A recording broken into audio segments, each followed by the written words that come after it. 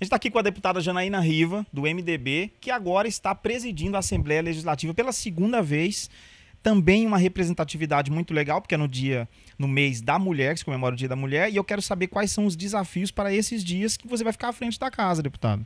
Bom, nós teremos vários debates na Assembleia, a casa vai continuar os trabalhos é, naturalmente. Nós temos lá várias pautas que são pautas de grande discussão. A gente tem um projeto do ICMS, que vai ser uma discussão muito grande com os municípios. Nós temos lá a pauta também de discussão do saneamento, que também é uma pauta que desperta grande interesse, principalmente dos municípios que ainda não terceirizaram terceirizar o serviço de água, serviço de esgoto, a gente vai falar sobre saneamento e sobre também os aterros sanitários. Então, é um projeto que envolve também toda a sociedade, né? inclusive Defensoria Pública, Ministério Público. A gente quer fazer um amplo debate lá na casa.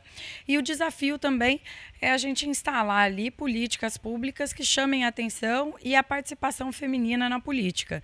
Então, tem algumas propostas que a gente já está analisando e que a gente vai trabalhar junto com o Botelho, que é presidente da casa, né? Ele tem é, tirado essa licença, como tirou também no passado para mim. Eu vejo que agora vai ser mais rotineira essa minha participação na mesa.